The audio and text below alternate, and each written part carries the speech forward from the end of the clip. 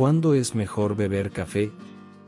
El mejor momento para beber café depende de cómo quieres aprovechar sus efectos, pero hay algunas horas del día que son más recomendables.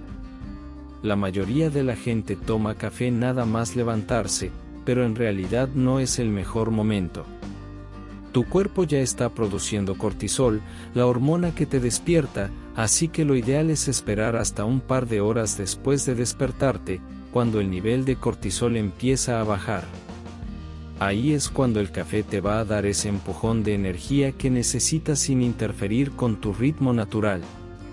Otro buen momento para beber café es justo antes de hacer ejercicio.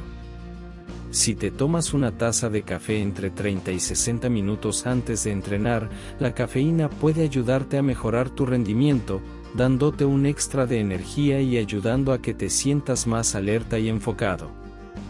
Además, puede hacer que la actividad física se sienta un poco más fácil, porque la cafeína también puede reducir la sensación de fatiga. Así que, si buscas un aliado para tu entrenamiento, el café es una excelente opción.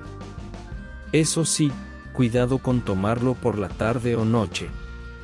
Aunque a algunos no les afecta tanto, la mayoría de las personas pueden tener problemas para dormir si toman café muy tarde en el día. Como la cafeína se queda en tu cuerpo varias horas, lo ideal es no consumirlo después de las 3 o 4 de la tarde para que no te quite el sueño. Dormir bien es clave para rendir al día siguiente, y aunque el café es fantástico para despertarte, puede ser tu peor enemigo si lo tomas demasiado tarde.